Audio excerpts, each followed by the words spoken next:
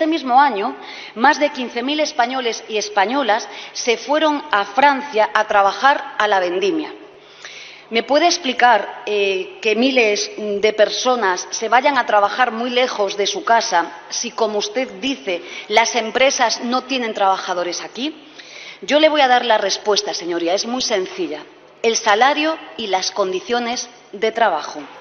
Si algunos empresarios de nuestro país tienen dificultades para encontrar trabajadores y trabajadoras, le doy una pista.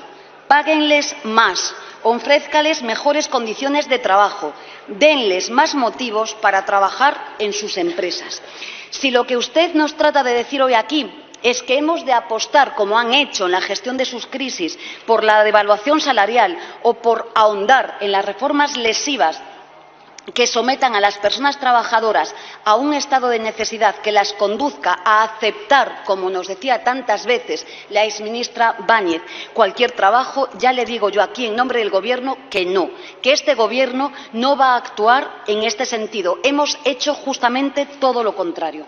Imagino que no pretenden, señorías del PP, dar a entender hoy aquí que las personas desempleadas en nuestro país no trabajan porque no quieren, porque sería sin duda muy grave que un partido que ha gobernado y dicen que quieren gobernar nuestro país pretenda instalar esta idea.